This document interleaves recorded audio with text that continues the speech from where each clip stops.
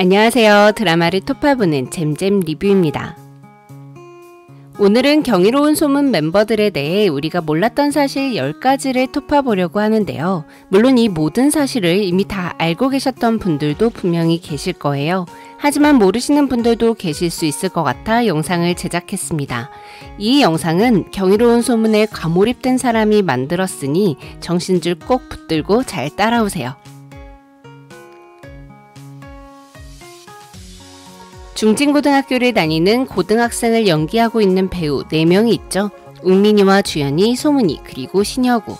그런데 이 4명 모두 고등학생이 아닙니다. 특히 웅민이와 신여구의 나이는 상상을 초월하는데요.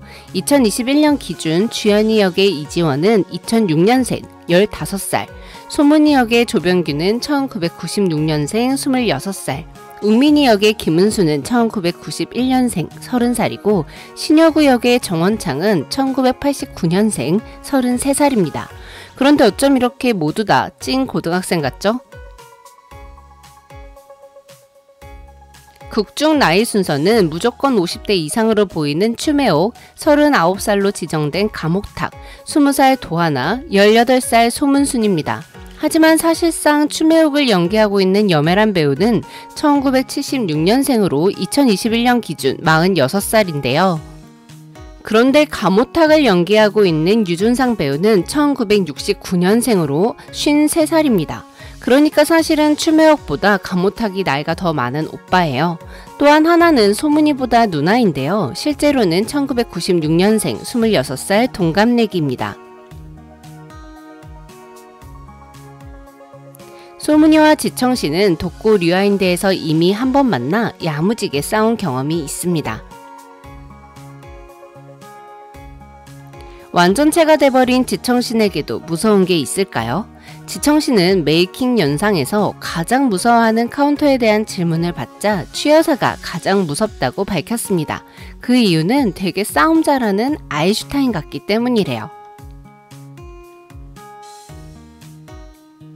경이로운 소문에는 핑크빛 조짐을 보이는 커플들이 몇몇 있는데요. OCN이 진짜로 원하는 커플은 소문과 하나도 아니고 추여사와 작물 형님도 아니고 바로바로 바로 지청신과 백향이입니다.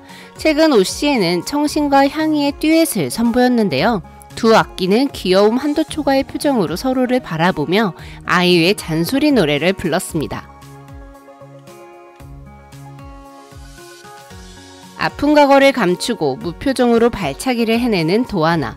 김세정이라는 사람에 대해 잘 몰랐던 저는 시크한 도하나 캐릭터에 생글생글 잘 웃는 이미지인 김세정 배우가 잘 어울리지 않는다 싶었거든요. 하지만 막상 드라마가 시작되니 김세정이 그냥 바로 도하나였어요. 도하나 멋있는 거 인정 안 하는 사람 없죠? 특히 엘리베이터에서 백향이와의 액션씬, 소화기를 들고 계단을 올라왔던 씬들은 도하나의 멋쁨을 잘 표현한 장면들입니다. 김세정은 발을 차고 돌아설 때 눈빛, 돌려차기 후 헉헉거리며 카메라를 바라보는 것, 찰랑거리는 머리까지 모두 다 신경 쓴다며 드라마 엔딩 요정으로 매력을 발산할 수 있는 이유는 가수로서 갈고 닦아온 표정 연기 덕분이라고 밝혔습니다. 최장물 역을 맡은 안석환 배우는 카운터들의 특징인 곱슬머리뿐 아니라 곱슬거리는 턱수염까지 소유하고 있는 캐릭터인데요. 안석환 배우는 최장물 역을 위해 수염을 붙인 걸까요? 최근 출연한 라디오에서 안석환은 1년에 한 번씩 사극을 하는데 그때마다 분장하기가 너무 귀찮아 수염을 길렀다며 이번에는 사극이 안 들어오고 역대급 재벌 역할이 들어왔는데 때마침 원작 웹툰의 최장물 캐릭터가 수염이 풍성하고 멋들어지게 난 캐릭터라 풍성한 모습 그대로 출연하게 됐다고 밝혔습니다. 백향이는 후덜덜한 액션을 선보이는 것과 달리 냉철하고 도도하고 사나운 이미지라기보다는 조금 푼수 같은 악귀입니다. 그래서 옥자만 배우는 이 캐릭터를 어떻게 연기해야 할지 고민스러웠다고 해요. 사이코패스로 다가가야 하는 건지 아님 캐릭터 자체로 풀어내야 할지 고민하던 찰나 유선동 감독이 할리퀸 같은 느낌이었으면 좋겠다고 귀띔을 해줬고 참고해서 연기를 했다고 하는데 듣고 보니 약간 느낌이 비슷하죠. 백향이는 돈을 좋아하고 사치스러운 여성에 대한 클리셰가 있는 인물입니다. 그래서 너무 전형적인 캐릭터가 되지 않도록 백향이 역을 연기하는 옥자현 배우는 백향이 몸에 들어온 악귀를 변태 남성이라고 상상했다고 해요. 두 가지를 섞어버리면 덜 전형적일 거고 새로울 거라고 생각했다고 합니다. 최근 씨네21에서 경이로운 소문 멤버들 인터뷰 및 화보 촬영을 했습니다. OCN 경이로운 소문 공식 홈페이지를 통해서도 behind 사진을 볼 수 있는데요. 언니네 국수집에 있을 때와는 사뭇 다른 모습을 한 근사한 슈트를 입은 4명의 카운터들을 볼 수 있었습니다. 원래 멋분 뿜뿜하는 도하나는 더욱더 눈부시고 소문이 원래 잘생기고 귀여워 보이는데 추매옥 언니 드라마와 전혀 다른 비주얼을 선보였어요. 그런데 이 촬영 때 가모타카 소문이는 오후 8시까지 도하나와 추매옥은 오후 9시까지 스튜디오에 도착하기로 되어 있었는데 모든 배우가 약속 시간보다 일찍 스튜디오에 도착한 것도 모자라 분장까지 모두 마치고 기다리고 있었다고 해요. 비단 시내 20일 촬영뿐만 아니라 원래 드라마 촬영 현장에도 30분씩 일찍 모일 만큼 열정적인 팀이라고 합니다. 악기도 아니면서 악기만큼 지독하게 악랄한 신명이 그의 진짜 이름은 최강일입니다.